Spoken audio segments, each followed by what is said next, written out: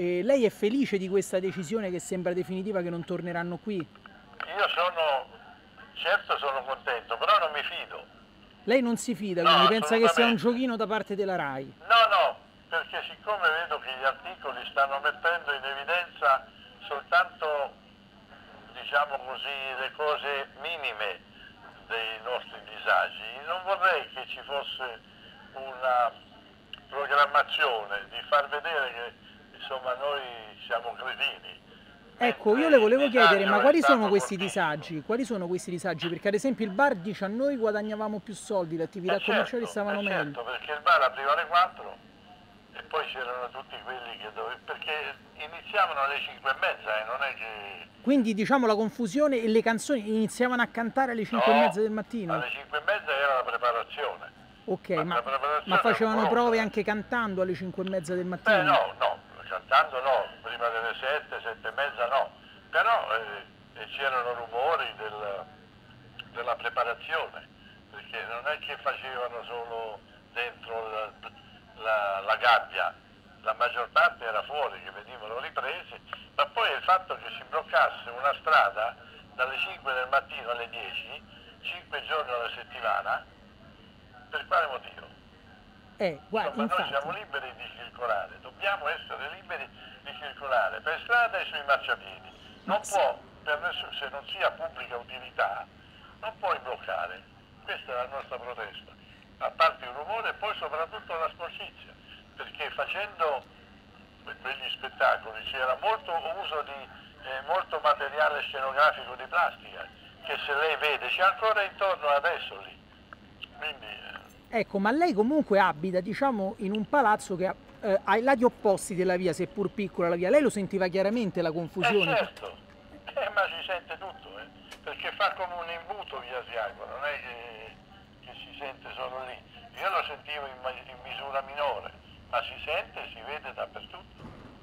Ecco, Ma poi ma soprattutto è per il passaggio, perché devi io devo chiedere permesso per camminare sul marciapiede perché vengano a vedere Fiorello, non esiste questo fatto.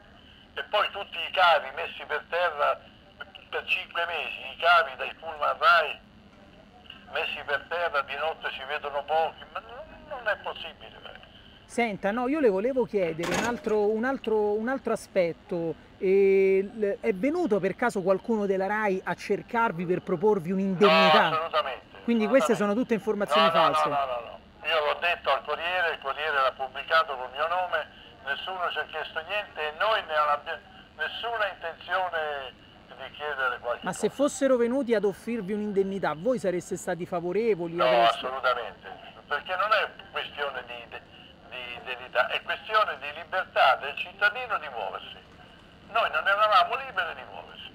Ecco, e che cosa si sente di dire a tutti quei quartieri? Diciamo sono arrivate già cinque municipi proposte Lo so, lo so. ufficiali.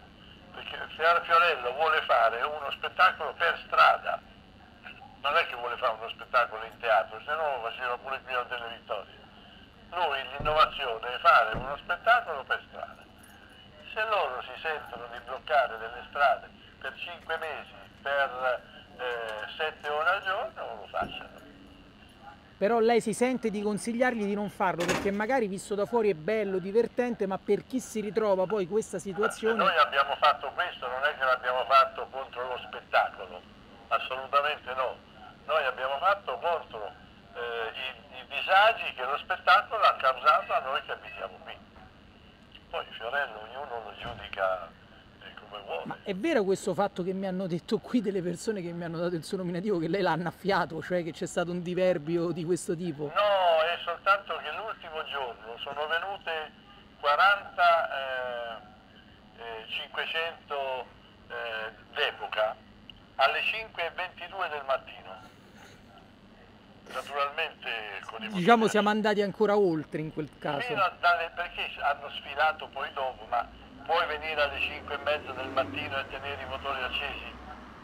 No, diciamo che ha fatto bene a tutti, per rinfrescarsi la testa più che altro. assolutamente. Il bar ha detto che le persone che protestano sono persone tristi. Lei quindi non si ritiene una persona... Io non, non- non- non sono assolutamente una persona triste.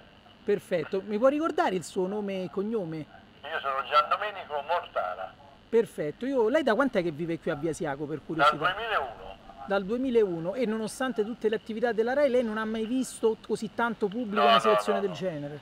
Ci sono stati sempre disagi perché qui è, è- è facile che arrivino personaggi che vanno in radio e quindi c'è la macchina della polizia, eccetera. Però così non, per cinque mesi, perché non è il problema di un giorno, è il problema per cinque mesi. Quindi se era un settima- un- una puntata settimanale si poteva anche fare, ma Non è tutti- problema, ma eh, per cinque mesi non si può. diciamo una volta Fiorello faceva i Dico la Fiore che era più circoscritta, Beh, questa è- era un'altra cosa.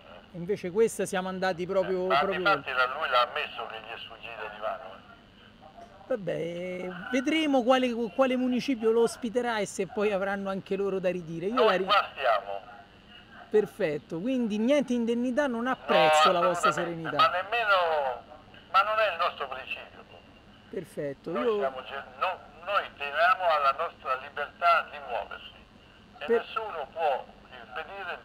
Quel, qui c'ha il box con la macchina parcheggiata, non poteva nemmeno, se dovevo uscire, dovevo uscire contro mano. Ma perché?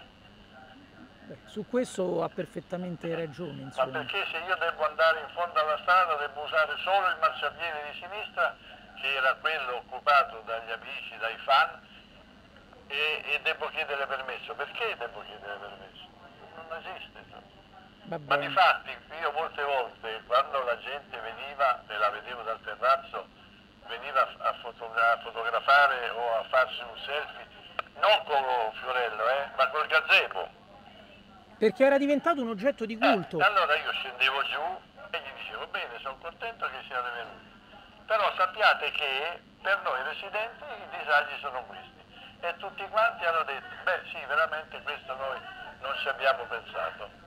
Perché insomma era una No, cosa lei, lei ha ragione. E cosa si sente di rispondere all'amministratore delegato della RAI che ha detto, beh, queste persone in realtà non si rendono conto che la loro casa varrà anche più soldi grazie Questa a questa cosa. Non è vero, ma poi guardi, noi come gruppo abbiamo scritto la RAI. eh. Quando avete scritto per la prima volta alla RAI per Allora, la prima protestare? volta ho scritto io a febbraio. E non le hanno risposto? Sì, sì, hanno Ah. risposto chiedendo scusa. Poi abbiamo scritto con il gruppo, ma non ci hanno risposto. Ecco, ma quando hanno chiesto scusa non hanno minimamente accennato a un cambio del programma o No, di no, no, no. tipologia? Hanno detto che era un'innovazione, che sarebbero stati attenti. Però questa attenzione non c'è stata. Però il gesto di Fiorello di smarcarsi anche dalla RAI che fino a 24 ore prima parlava di trattative con voi, No, di no. partecipare alle riunioni e tutto è stato esiste, apprezzato. esiste. È stato apprezzato il gesto di Fiorello che si è smarcato. Ma non lo so, lui sa quello che vuole e per raggiungere il suo scopo usa tutto quello che, che può. Quindi pensa che sia un po' calcolatore. Non lo so, non lo so. Va bene, io Va bene. la ringrazio Prego. molto. Buona Ma serata. Di che, di che, di che giornale è? lei? Tag24.it Ah, dell'Unicusano. Grazie mille. Buonasera. Arrivederci.